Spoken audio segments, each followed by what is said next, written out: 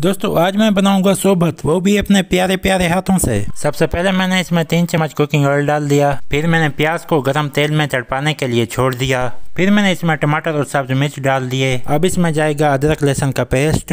अब बारी है मिसाले डालने की। एक चम्मच नमक, एक चम्मच हल्दी, एक चम्मच कसूरी मेथी, दो चम्मच लाल मिर्च।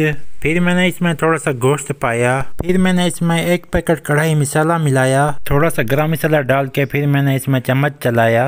कमेंट में बताओ ज़रा मैंने कैसा शायरी बनाया। फिर मैंने इसमें बहुत सारे पानी शामिल कर दिया।